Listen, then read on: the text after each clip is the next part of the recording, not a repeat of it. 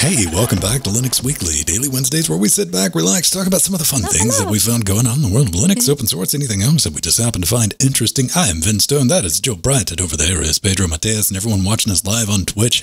Hi. How's it going? So nothing at all has happened since last week. Nothing. Not a thing. The internet isn't talking about anything Tons right of now. stuff. The Linux, Linux ecosystem has not turned into a soap opera. Nope. Not a bit. Speaking of soap operas, Jill, you noticed Yeah. something. Yes. You've been counting. so, yes, I have. So, OMG, it is our 300th episode of Linux Weekly Daily Wednesday. Woohoo! Are you saying this? Congratulations. Sparta! yes. and I can't believe I've been here since episode 111 in um, April of 2018. Can you believe that? wow. Because no, of I- I always, uh, wonderful patrons. Pedro will pop up every now and then. He's like, "Yes, we've been doing this for like nine years," and something like, and I, I'm the one making these. And I'm like, I don't know. I guess if you say so, I'll take your word for it. Yeah. I have no It's idea. usually the numbers that in my head go, wait a second, you can divide that by nine. Oh, it's been that long. Mm. Okay. Yeah. well, ho ho ho! Merry 300, everyone. yes. Pedro, you you okay? First of all, what are you doing playing around with FireWire audio devices in 2021, bro? I, I'm addicted to this particular Apogee duet. Uh, it it, it sounds Typical very Linux nice. user. Using Mac devices that weren't even supposed to work, but they do, and they sound really nice. But uh, yes, that that has been my uh, sound card interfacey type of situation for a few months now. And um, yesterday, uh, before the stream, I was basically fighting my system to figure out why it wasn't working. Why isn't uh, even Pulse Audio loading at all? Or why isn't ALSA even seeing the um, the Apogee? Have you not read It turns Twitter? out- audio does not work on Linux, man. Y- Yes, I, I was basically getting the default experience, but uh, I like to think myself, you know, better than that. but yeah, no. I, as it turns out, I had the hardware enablement uh, stack kernel 513.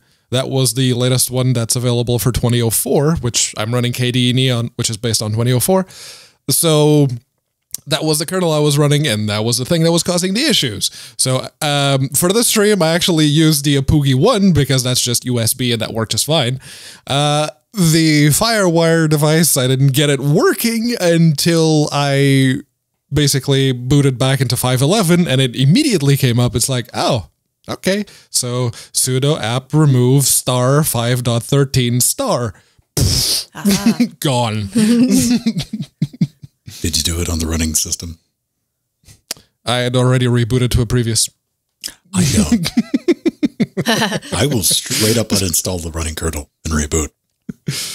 I don't think Ubuntu lets you do that. Uh, I think if you try to install the current running one, it will automatically Yeah, reinstall you. like the Yeah. unsigned version of that kernel. Yeah, see, I, I live over in the real world with Debian. yes. Don't have that problem. Like, go YOLO. And it, it is a very reliable YOLO. So I don't feel, and I do this when I'm testing out compiling um, kernel 515 RC release candidates and testing out some of the uh, stuff also for Firewire and other things. Uh, but I've never had a problem with it. Uh, I don't suggest doing it at home. And if it blows up, I will just laugh at you. But hey, that Yeah, Linus no, kid. stay away from 513 if you have FireWire anything, at least on Ubuntu. Maybe other distros do something different, but here is borked. that Linus No, kid. Pedro. I, all right, you guys get it out of your system. I'll, I'll, I'll see if I can get started. No. We got a like third salvo coming in. Come on, let's make it awkward. Oh, at least he's It running already Arch. is. So yes, that Linus kid, the squeaky one, not this one. He finally released the video that a lot of people have been waiting for. I watched it yesterday, and um, that's not entirely true. I, I flipped through it yesterday. like I wasn't terribly interested. yeah. but you kind of got to watch it for research so, so we can talk about it on the show. And um, the one thing I saw like jumping around through the video, um, kept talking about average users. Like, oh, an average gamer or an average computer user wouldn't use a command line or wouldn't. And the only time, the only thing I was thinking during that was, you know, I've never met an average person who runs Linux. And I'm not patting you on the head. I'm not giving you false praise when I say that because I think we've all, you know, met somebody like you think about it like this average people who install Linux, they never stick around. They just don't. And what I'm saying there, you know, I'm not saying that yeah, that we're above average. No, I'm not saying we're above average. Quite the opposite. What, I, what I'm saying is like we're kind of the misfits. We're, we're the people who get bored with something like iOS. Oh, misfits. Okay, that We is like a better tinker. term than the one I had in my head. the tinkerers, We like the to people who want to play around. You're looking curious. at Windows and like, this is boring. There's got to be more stuff to Yeah. do. There's got to be more to learn. I want to, I want to Mm-hmm. go deeper, you know. And here we are. Um, but yeah, I mean, we, have people who are like, I think a more common term like Linux curious. You know, somebody who's Mm-hmm. like, ah, maybe I want to play around with Linux. Like, ah, then they're going to run them with something. We, you see these people, you get them in your life. Somebody who just wrecks their desktop every other week, and they're like, "Oh, nope, nuke it from orbit. and Let's start over." I'm like, "Are you going to learn anything from that? Nuke it from orbit," I said, and reinstall. That's how I fix things. Hi, Windows. You know, I, I learned it from watching you, and um, it's quite unfortunate, but you know. That, that's pretty decent, and yeah, I will always say we are the misfits. We're the curious ones. We are the tinkerers, and um, Yes. that's that. I don't say that from a place of ego, elitism, or uh, toxicity. I say that from 30 years of personal experience, you know, on, on this side. I just want to just say that and keep that, keep that mindset when you're watching an entertainment technology channel and they're talking about Yes. average users. like, Yeah. that's, what a, stay average, my friends. Yeah. LGC cares. Windows needs users, Mac needs users. It's okay. Can- And we are the Linux nerds. We're, we're not. I don't want to go stepping on average toes, man. I mean, we're the bullheaded um, Pedro people who Mateus, refuse to you- look facts in the face. Have you not? And I, keep I, I can't live with this, Pedro. I can't have someone being averagely upset with me.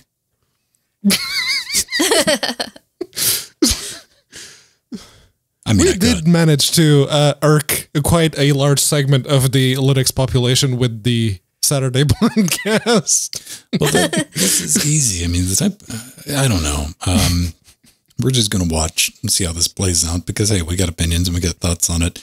And no, don't let anybody say you can't criticize anything. I mean, this is a commercial venture that Linus is doing. So yes, it's wide Yes. open to criticism. And um, yeah, He's if- making money off it. He deserves the criticism. the whole idea that this series was like, oh, we just sporadically decided to do this on a show out of it. No, don't, don't, don't buy that. Then, if you believe that, you believe reality TV is not scripted. So hmm, that's all I'll say about that. Hey, another thing I've been playing around with is uh, last week I got the Raspberry Pi Zero Two W. Picked that up. Nice. And I finally decided to start playing around with it. This is uh, my little proto Pi. That is the Pi Zero W2 powering my Stream Deck. I got that set up and it's wirelessly, you know, I didn't get the rest of it in the picture, but um, communicating with this box here, which is a uh, my little thread ripping system that is used for streaming over the Wi-Fi, like self-contained. Because I'm prototyping. I got, I got an idea. I got plans, but I wanted to see if I could get my uh, Bitfocus companion web server and all that set up with Wi-Fi's, and that little quad core had enough juice to do it, and it looks uh, it's positive. Some things are going to have to be done for reliability and it not melting, but eh, there's promise there. Stay tuned. It might also involve me having nice. to break down and upgrade uh, from my original MakerBot. It's made out of wood, but it turns out that apparently when I wasn't paying attention for the last decade, uh, you can get like for 200 bucks, you can get a pretty decent little 3D open source printer these days. I'm like, all right, maybe I'll go pick one of those up and burn some filament. All right. Let's get in to the actual news though, because pop goes the DM this week. This is very exciting news. So, System 76 is working on its own desktop manager, and it is not no GNOME shell based, but will be primarily based on the new code base of hotness. Rust. yes, this is awesome. So this is, you know, really wonderful news and honestly something I've been speculating for quite some time.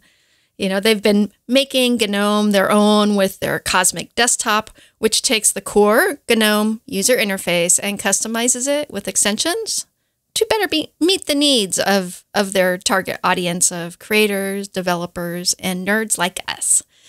So at some point, you know, I knew that the changes they wanted to make with the GNOME desktop were not going to be enough, especially since they were relying on GNOME extensions to do so. And as we here on LWW have talked about many times, having to use extensions to improve your desktop is really not optimal. What? No, I'm on And- XFCE. no, no. yeah. No plugins. So- Imagine using XFCE with no plugins. Yeah, there you go. so, and you know, you know, and I think building their new desktop in Rust is honestly a really great sh- choice, especially since the future of the Linux kernel will have some rusty elements. So that's definitely a thing, and this is a really awesome change for System 76. It's going to be very I'm positive. thinking about it and I'm looking at it. My first thought, like a lot of you at home, you're sitting there going, Y'all remember Mir? Um, yeah, Remember Unity? the this has desktop all environment? happened before and it will all happen again. Um, yeah, Unity. That was a thing, man. You know what? I was never really a fan of Unity, but I really wanted it to succeed. I did on this show, Mm-hmm. even when it was still being on life support. I'm like, this needs to happen. We need this. Why? Because I, I probably think about it a little bit differently than a lot of you at home. I really do. Because I've, I've been trying to teach people how to do the Linux thing for well over a decade. And um, it's always from the command line. And that is a very common complaint. We were talking about that in the pre show. If you missed out for Patreon, go back and listen to it. And having like a like the one target desktop's always been kind of a dream. You know, the desktop hardware, it, doing that The for System default. 76, right? Having like, yo, we'll start here and you can work backwards from there. Having that, not only is that going to simplify the support for System 76, I mean, to some degree, because the average person's not going to change their desktop. They're going to get it and like, okay, I'll live with this. This is my life now.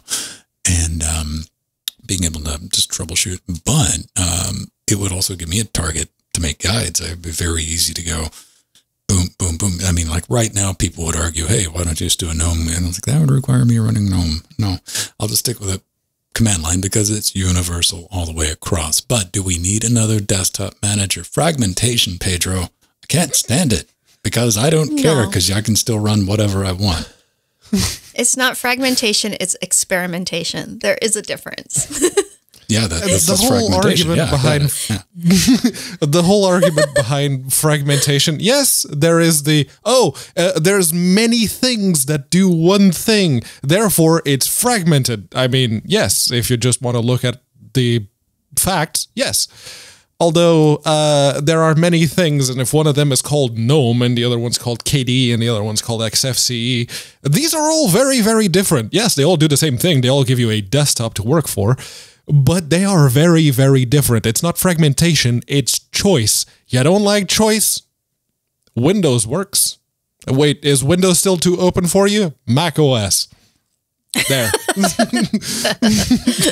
I don't know what type of like technical wizard you are. I use Chrome OS. Chrome OS, even better. Yeah. Linux based and no choice whatsoever. That's it. That's what you get. No, But- but, I do want to hit you up. We'll have this conversation real quick, Pedro, because again, from my perspective, like, yo, I want to be able to help people out getting things, especially multimedia production under Linux. And I say, okay, this is how you do that. And they're like, well, I, it doesn't work this way under KDE. My response is not my problem. Mhm. That's not a, that's not a great response. Oh no, it isn't, but it is a valid response because if you're providing someone with help uh, from you can only do it from your perspective. If that someone is insisting on doing something using a tool that you don't necessarily like, Okay, here's another problem I have though. Like, if we could get that, you because Linus, not this one, the squeaky one. Not that Linus yeah, um, said that you know if if it's an average user, they can't use the command line, especially average gamers. completely out of the option. They're not. They don't have the the correct amount of folds of gray matter to use command lines. I'd I'd say Linus has a very poor uh, understanding of the average user, or maybe a little too good of an understanding of the average user by what he displayed on screen. Well, no, but, hang on. Maybe he's talking about his average viewer. Yeah. Okay, if it is his But- view uh, and his actual legitimate view, and he's not just doing that for the clicks, uh, but like uh, as? Yeah. He has lots of Linux users in, in, in his, uh, you know, watching his streams. And that's Yeah, the but thing. we're If he watching it genuinely was control, doing Jill. this, We're like, oh, what, what what nonsense am I going to be dealing with as a result of this? and I don't say yeah, that if he lightly. genuinely wanted that, he Well- could have asked Anthony because Anthony knows Linux, or he could have asked Wendell because He could have. you know collaboration between YouTubers. Wendell is also pretty big on Linux. Uh, Yeah. They could have even, I don't know, maybe watched a certain podcast uh, that has Linux and gaming in the name. no, But yeah, going back to System 76, which is relevant because that's the first distro that Linus tried, not that one. The the new uh, desktop environment, I like it.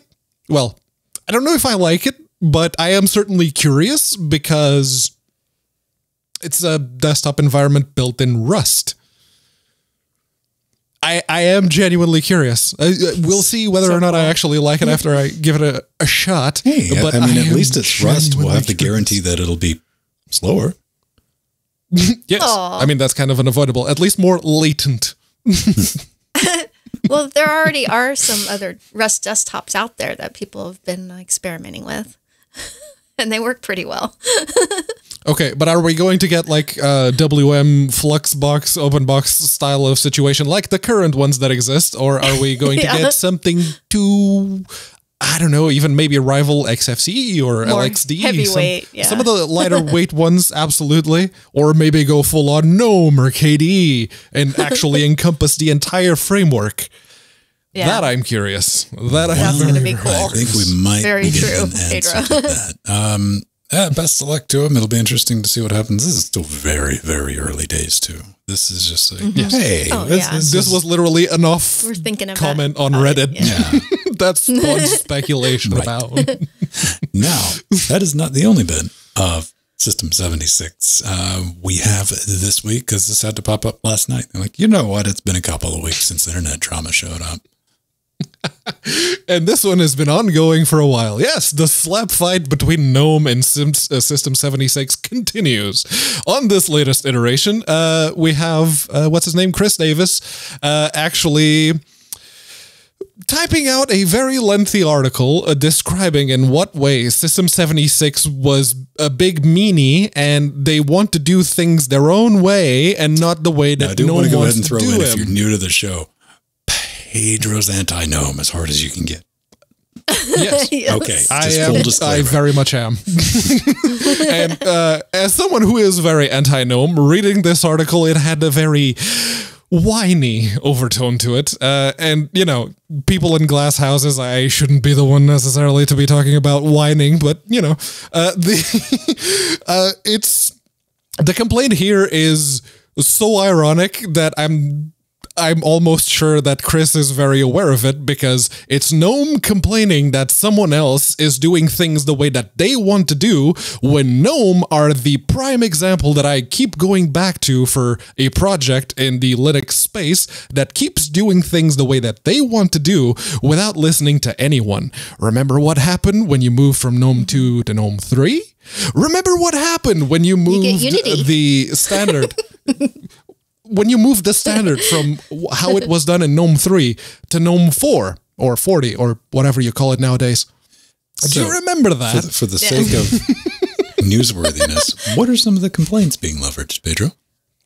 The complaints are uh, this all. I think it kicked off with the uh, LVFS, the way that uh, System 76 at first didn't want to use LVFS because they were concerned about the some of the information that was being collected, and uh, then they eventually just started using LVFS and fwupd the same thing. And the complaint there was that uh, during that time that they didn't want to use it, uh, they were posting mean things on social media and spreading misinformation. In fact, misinformation is a word that I didn't actually look it up, but it appears at least five or six times in this particular article. So, and it's always leveraged at uh, System 76. Come on, my favorite slap fight is over GK. I'm just joking. I don't really care about that. Um, so I'm going to say this. Uh, you know, w- when you do s- sit back and suck out all the unneeded drama from the situation, you basically get two projects that want to do things their own way. You know, hashtag my way is best way. We've all been there, you know, myself included, because I rather enjoy doing things my way. But that also forces me to think, you know, it'd be a wee bit silly of me to chastise others and other projects that are doing the same thing that we all naturally do in the first place. I mean, this is just reality of it. Now, Irony. that's the thing, man. You know, sometimes it's not pretty, but what we're seeing right now is open source working as intended. It is because Yeah. you get that option. You know what? Because you absolutely can go make your own lunar lander. You can with you know working on the existing infrastructure. What's already there? Like, hey, you know what? We're not going to see eye to eye on this, so let's go do our own thing, and that's good. That's a good. That's a bonus, and it, and it is very human of us to like, let's pick a team, but like, We are a tribal bunch. Yeah. Always have been. Yeah. I mean, yeah, it, it, I, I guess that that's just the way average non-XFCE users think. yes, no, over here in the KDE Master Race Right. land. That sounds wrong. oh yeah, I bet you have to open more terminals. I oh, wait a second. I need to open the terminal to make sure that KWin hasn't sprung another memory leak. You know what? That needs fixing. Oh, Mine's so that's why advanced I got to can stick with Window Maker. repel I'm sorry. Wayland. I have Wayland anti-Wayland defense measures built in. Yeah, So yeah, Jill, any opinions on this one? yeah. yeah. Well, I think uh, yeah, Cheese Bacon said it correct. You know, in chat that you know we're we're human, and uh, you know ha- ha- having Linux drama is you know part of it. but I really do feel that that you know this is uh, the beauty of open source is you know system 76 is taking the gnome desktop and making it suit their needs and making it better for their needs and that's the beauty of open source there you go. All right. Now, uh, going back to the Wayland that Venn dropped there, but we hadn't given Jill the chance to say anything just yet. So, yeah, it's here. It's actually here. Uh, version 21.1.3 is available. It's no longer uh, in release candidate um, availability. It is actually released. There were no changes since the last release candidate. It was, yeah, it, it's here you can get your if you have an nvidia card and you're running the 495 drivers you can go and launch x wayland things and go yeah that that works Now I'm going to save That- everybody a lot of trouble if you got the latest NVIDIA drivers and you got the latest version of X Wayland, which you probably don't. yeah No, because what we're trying to communicate, if you want to, if you're capable, go ahead and grab it. There's nothing standing mm-hmm. in the way other than ha- getting the latest updated packages to go play with Wayland on NVIDIA. All the bits are there, but you got to be brave if you want to play that home game. I'm personally, I'm very happy. I'm content. Open Sway, opened a terminal terminal inside of that. And I'm like, man, that was an awesome experience. Let's get back to this X thing. Um,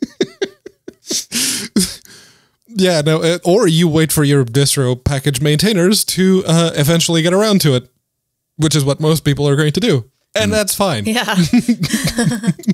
I like the options there. Um, probably the easiest way it'll probably get rolled back into because you're going to be playing with Pipewire too. If you're going to be playing with Wayland, I assume, unless you're just 100% You don't desktop. need to, but Yeah. you should. Yeah. You really should. Pipewire is nice.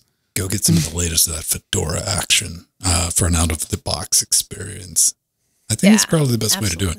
Now, I've always wondered if there was this bizarro moon universe where XFCE was based on Qt instead of GTK. Oh. Oh.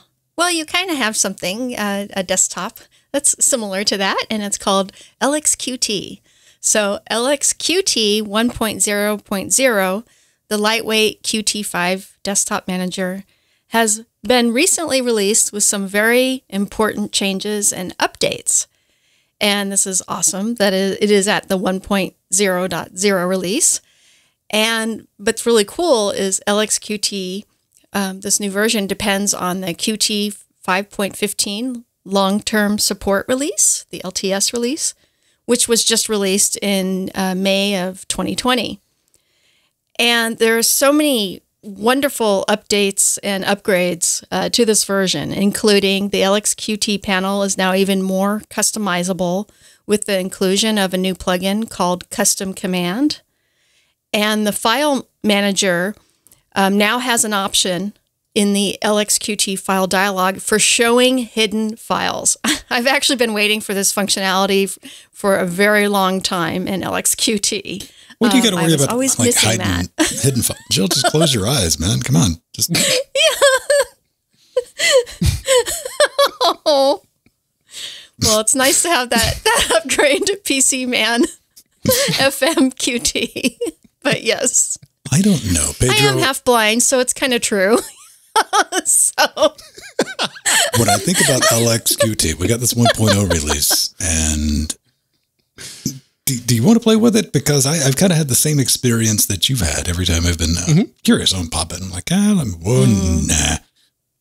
I really like the idea behind it. I do. Uh, And uh, just a quick mention big thank you to the Raiders that we currently have going on. We're recording this live, so welcome everyone. Hi. The, Who rated us?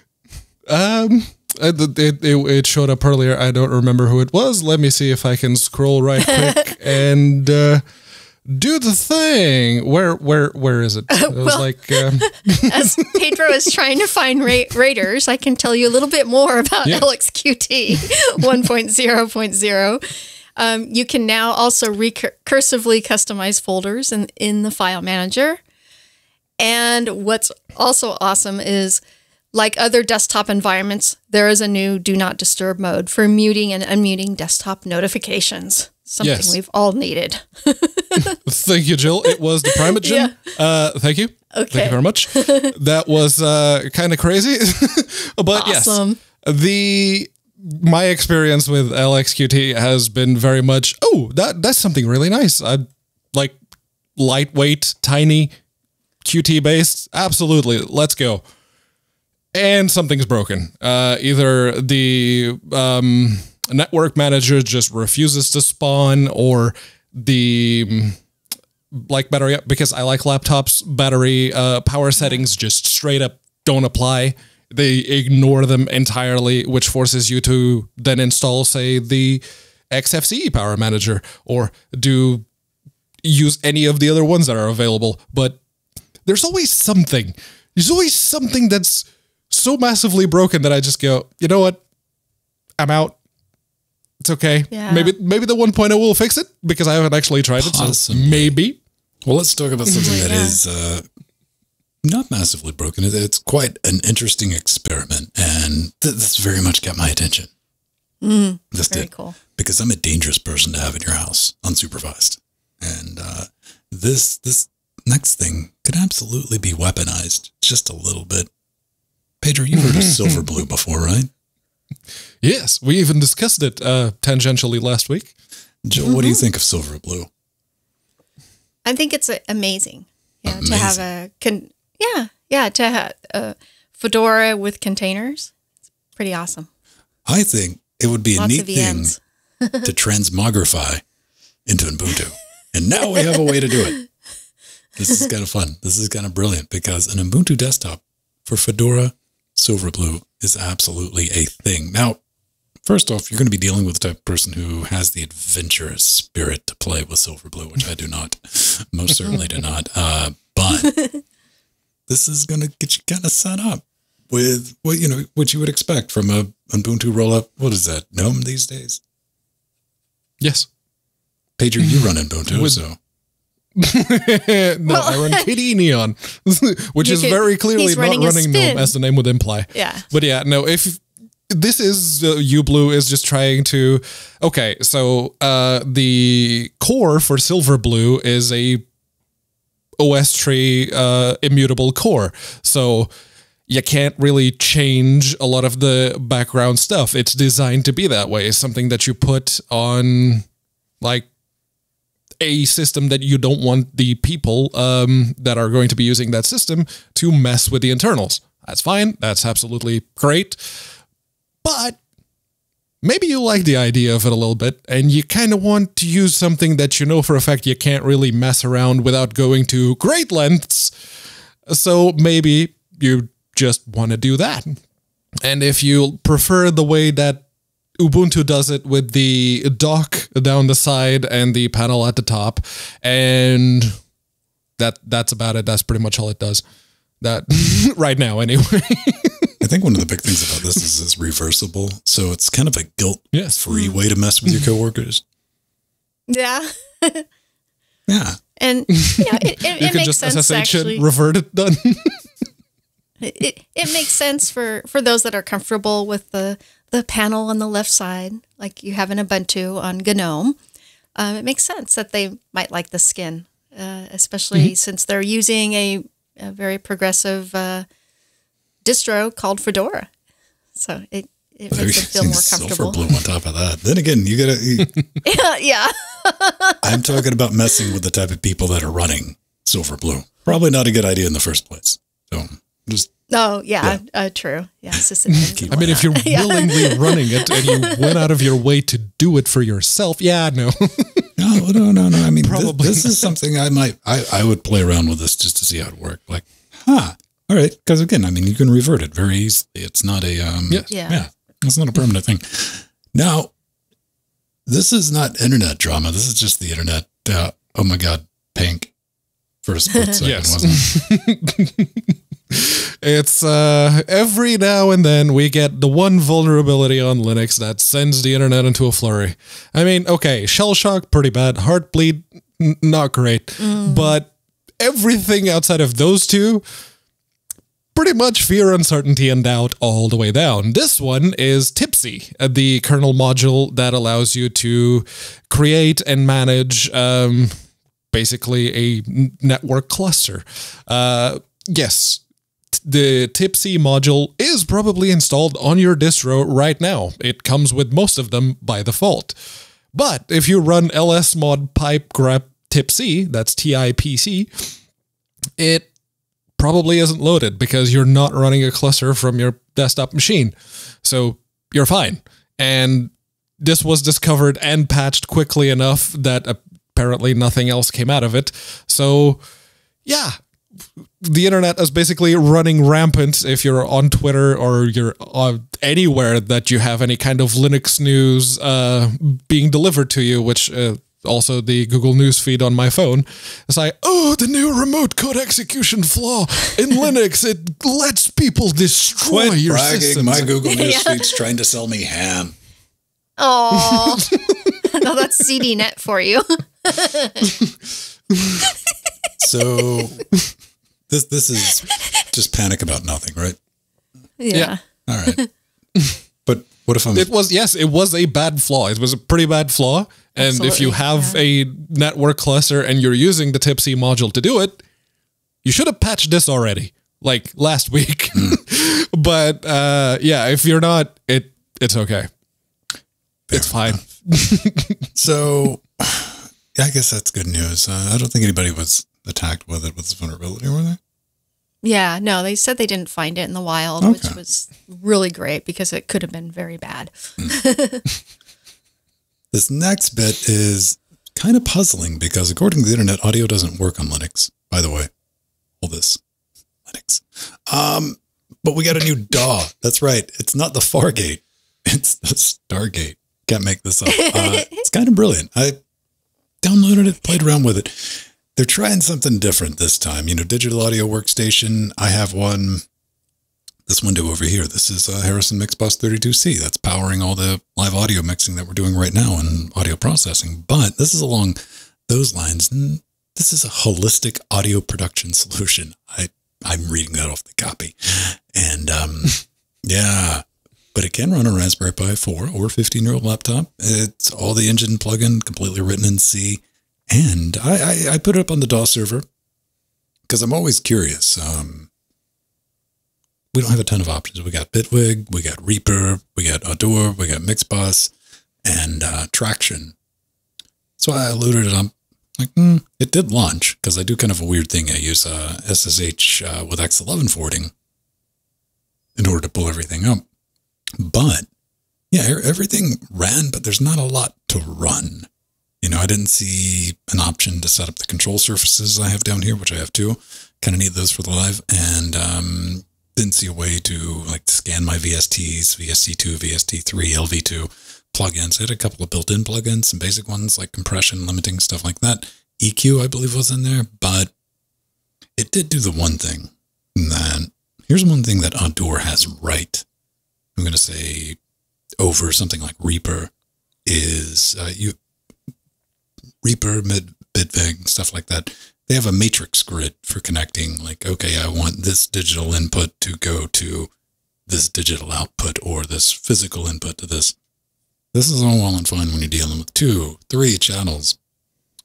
Once you're up to like 30 something, that becomes a nightmare to deal with. Uh, I know when I was uh, playing around with Reaper in the studio, I had to go get a ruler because that grid was like this.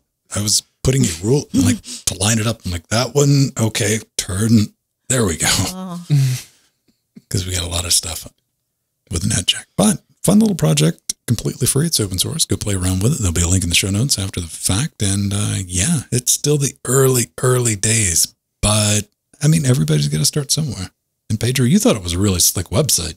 You just couldn't the website it, it, gave me some KDE4 vibes. Um, if you ever used that particular theme, if you, if you were looking at the video version while Venn was showing it, I can't remember. Was it called Sleek or something like that? Um, oh, or yeah. If you've been using Garuda Linux recently, that looks very similar, doesn't it? Yeah. It's like their fire theme. Yes. yeah.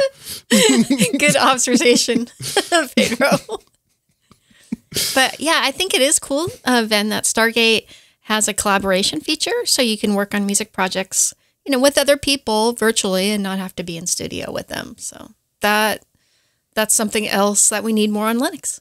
It's awesome. Good times. So that's the thing. Oh man, Tuxedo's got a new thing out. Yeah, the Tuxedo Nano. Pro Gen uh, Generation 11 mini PC measuring just 4.6 inches by 4.3 inches by 1.9 inches has been released. And yes, this little baby computer you can play games on. And with a starting price of 640 euros, you get an AMD Ryzen 3 4 4300U processor, 8 gigs of DDR4 3200 RAM and 250 gigabyte M2 SATA 3 SSD. And what's awesome is that's the low end. And on the high end, you can get up to a Ryzen 7 4800U processor, 64 gigs of RAM, a 2 terabyte NVMe SSD, or 8 terabyte 2.5 SSD. Or even better, you can just buy the bare bones box with the APU and supply your own components, which is what I would do. Yep. And um, it it ships with your choice of Ubuntu Linux or the Ubuntu based Tuxedo OS. it's really cool. And it, uh, major major kudos to Tuxedo because okay, the whole shoving Horizon, uh, especially the forty seven uh, the forty eight hundred U, into a five by five by two teeny tiny little box like NUC sized effectively that that that's impressive. Uh, eh, that's uh, yeah. uh, that's a lot of cores and a lot of APU uh, going on in there. But that accolade goes to, or accolade, I should say, uh, goes to ASRock because they're the mm-hmm. ones who did this, and I the was um, about author. to say this might look a little familiar because Similar, it's similar. same yeah. the uh, this article comes from uh, Liliputing and um, head writer uh, Brad Linder. Was like, yeah, that that that it is the same box. It just has the tuxedo badge on it, and with tuxedo lytics, which is uh, at least at the time when they sent us the uh, Infinity Book thirteen, uh, it was effectively uh, ex Ubuntu uh, with some heavy, heavy customization and some heavy limitations on the power usage. That laptop, of all the ones that I was sent, was the only one that if you were working off of battery, it capped out exactly at 15 watts. And it was all done in software. They did it all themselves. So they get full credit for taming the 4800U and all the other uh, Ryzen APUs that they're going to be offering in those teeny tiny little AMD NUCs style things. Those So- th- they're all very interesting. Like I, So cool. Even though I try to keep AMD where I can, um, I've always been interested by NUCs. It's a small form factor. Now, Yeah. admittedly, I'm against the desktops because I, I don't understand why people are into hardware torture.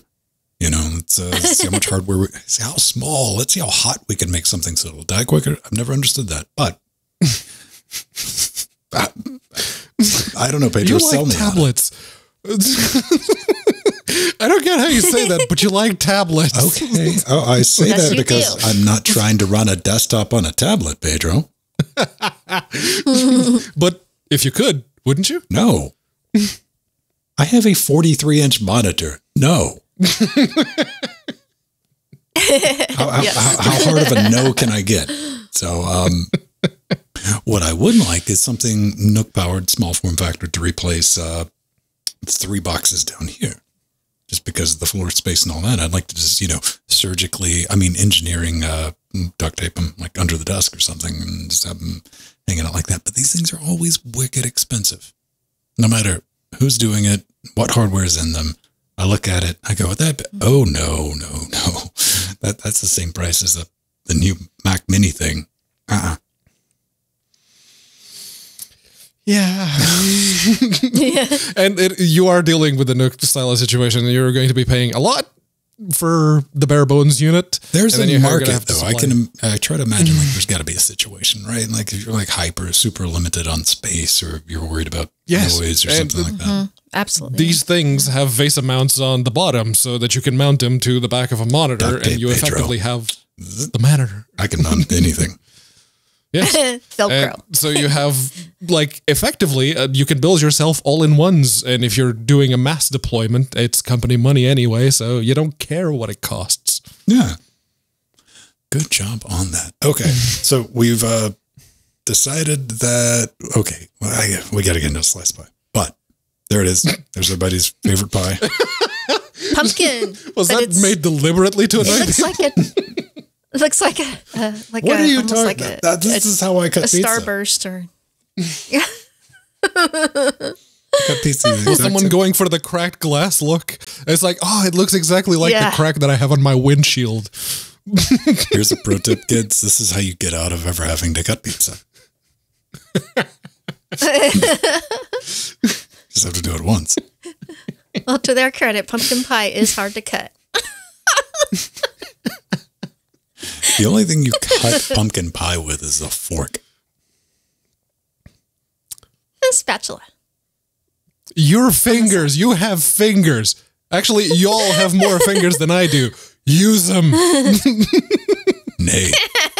Get dirty. So we're going to get into a little bit of a slice of pie, but something we were talking about last week. I picked up the uh, new Raspberry Pi Zero Two W thing. Go back to the beginning of the show, some of the stuff I'm playing around with. But I think we were just talking in the after show. I'm like, I wonder if I could put Windows 10 on it because Windows 10 has an ARM build. While I would never do that for any personal reasons, I was like, man, that'd be fun to stream, wouldn't it? right? It, it would be fun to a point. Then it would just be, oh, come on, I'm only watching now because I want to see you do it so I can leave. Yeah. Okay, but look at it like this. You would be watching that stream now, wouldn't you? Yes. Yes. like I would be fascinated. Like, you know what, guys? We're gonna take a break. We'll leave it up and we'll see what happens and we'll come back. And uh, So, in order to make that happen, I had to do a little bit of research. Like, okay, I have no idea. I know that even Microsoft says, hey, we got Windows 10 that'll run on a Pi. Allegedly, I don't know. Not really anymore. All the publicly facing links to that ARM image just kind of don't exist anymore. And if you want to like get Windows 10 or Windows 11 up and running on a Pi, it's not a simple task. I was thinking, what would you think, right? Like, uh, you're going to give me an image that I'm just going to burn with an imager and pop it on the SD card, and we're uh uh, no sir. Mm-mm. Yeah. So there's Not this. anymore. There is this. I had to go to WoR Flasher, and this is a get this legal utility.